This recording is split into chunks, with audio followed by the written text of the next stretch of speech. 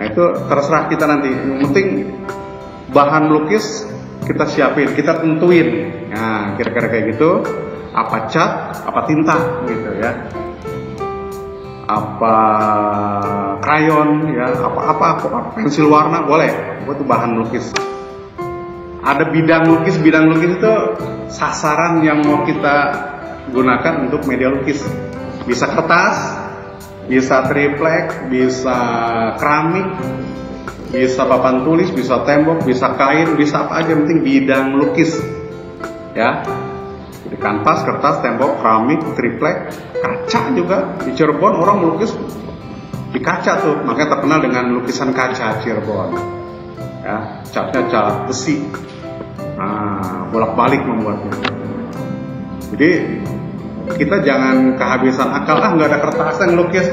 Bisa apa? Kanvas bisa triplek bisa keramik sisa e, masang keramik di rumah. Misalnya ada tukang ada sisa lima kita bisa gunakan untuk bidang melukis kemudian alat melukisnya segala perkakas yang digunakan dalam melukis kuas cat air kuas cat minyak pisau palet palet spidol sprayer Esel, esel itu sandaran.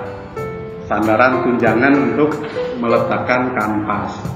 Jadi kanvas itu biasanya kalau para pelukis yang terkenal nggak ada melukis di meja, melukisnya di esel. Nah, kalau kamera itu ada tripod.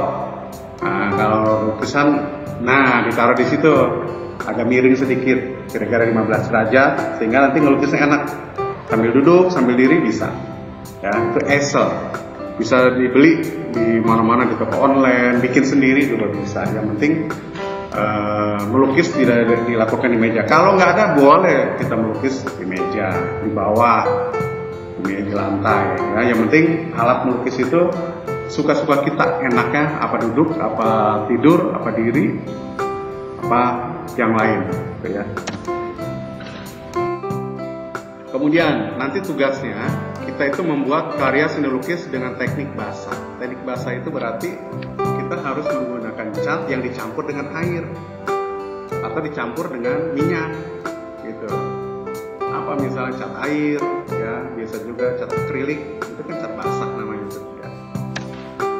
Nah, yang pertama kita siapkan dulu bahan dan alat. Kalau kita menggunakan cat air berarti kita siapkan kertas, kertas gambar tapi kalau cat akrilik, walaupun dicampur dengan air, itu medianya kalau bisa jangan kertas, tapi triplek, bisa juga kanvas, kaca, papan, ya, dan lain sebagainya. Sepatu, sepatu putih, itu bisa dijadikan bahan untuk melukis.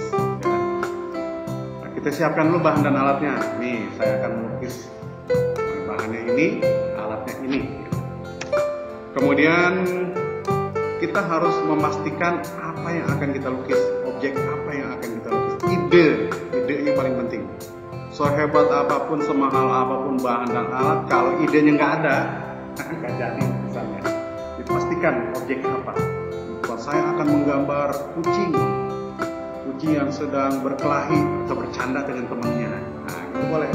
Saya akan menggambarkan capung yang sedang nemplok di alang-alang saya akan menggambar burung yang sedang terbang berdua dengan temannya bercanda di udara. Jadi tentukan objek, saya akan menggambar rumah itu. Saya akan menggambar apa? Boleh dipoto dulu boleh. Ide, ide, ya penting banget ide itu. Ya. Jadi bahan udah siap, ide juga udah siap. Berikutnya kita buat sketsa. Sketsa. Sketsa ini bisa menggunakan kuas, bisa menggunakan pensil dulu. Kita sket-sket tuh. Misal tadi kita akan menggambar burung yang sedang terbang di udara membagi makanan ke temannya berbagi makanan misalnya. Itu harus komposisinya harus bagus harus pas. Jadi burungnya itu dua, dua ekor burung tadi yang sedang terbang di udara itu sedang berbagi makanan usahakan tidak kebesaran tidak kekecilan diatur makanya dia sket-sket tuh pakai pensil biar pas. Jadi walaupun baru skate udah enak dilihatnya. Jangan sampai ini kertasnya lebar banget, burungnya kecil banget. Ya, atau burung kebesaran. Ya. Nah, jadi harus tadi pakai prinsip-prinsip komposisi, keseimbangan dan seterusnya. Ya, buatlah sketsa menggunakan sapuan kuas atau pensil. Kalau menggambar pemandangan, kita sketch-sketch dulu dengan pensil, baru nanti menggunakan cat dan seterusnya. Nah, kalau kita menggunakan kertas, ya, uh, menggunakan cat air, kita basahin dulu kertas itu. Misalnya kita akan menggambar gunung tuh bagian atas, kita basahin dulu kertasnya, baru cat airnya dikit-dikit di sapu-sapu pelan-pelan gitu, membentuk gunung tadi. Karena memang kita menggunakan cat yang transparan, transparan itu tembus pandang. Jadi ada ada lukisan yang pelakat, pekat gitu warnanya menutup ada yang transparan nah kalau transparan biasanya kertasnya dibasahin dulu baru cat dikit-dikit digeser-geser didorong-dorong disapu-sapu dibentuk menggunakan rasa ya pakai Allahumma kira-kira. Biar nanti wah ini wah ini ininya ini dan seterusnya jadi rasanya main di situ ya. Main-main rasanya. Yang sungguh-sungguh ya. Jadi jangan melukis itu karena guru tapi karena kamu ingin ya uh, mengekspresikan diri kamu, kehebatan kamu, yang tadi objek yang udah kamu pikirkan bagaimana terwujud mewujudkan apa yang ada di pikiran kita menjadi wujud sebuah lukisan yang sangat baik gitu.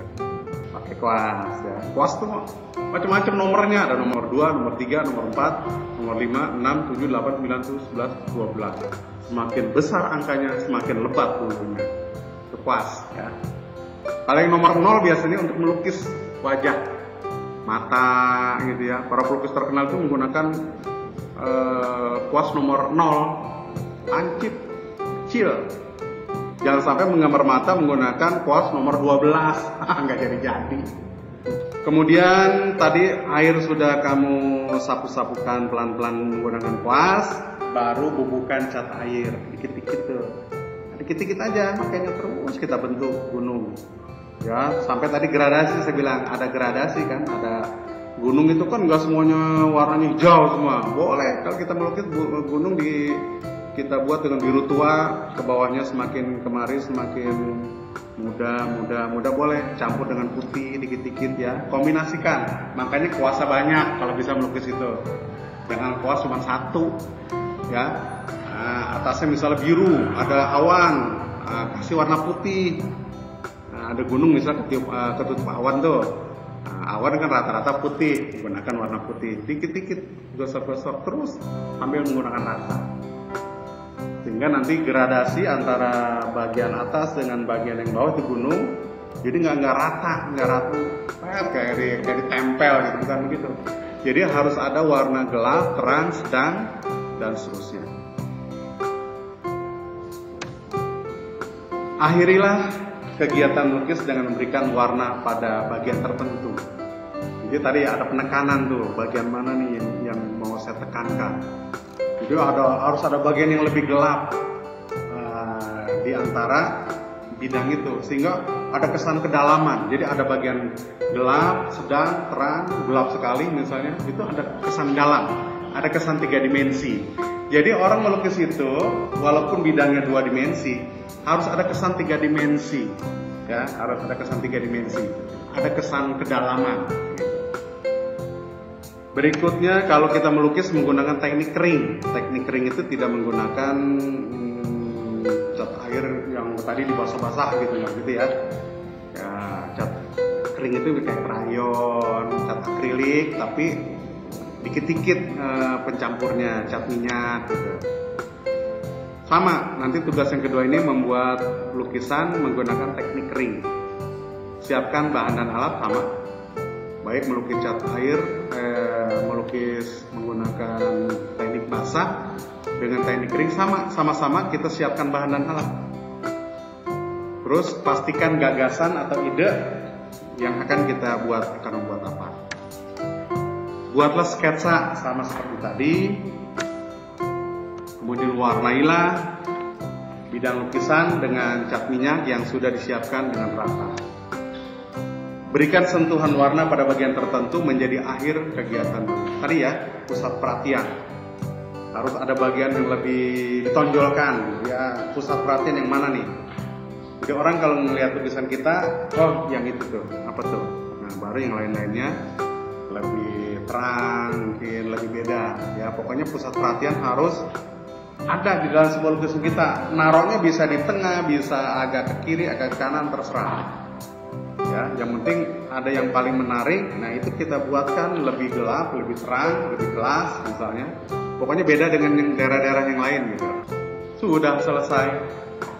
Tugas kalian coba buat sebuah ide lukisan.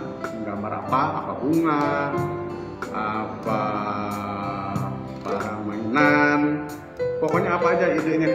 Kamu cari di YouTube boleh mencari inspirasi ya kamu buat sebuah lukisan di kertas gambar menggunakan cat air.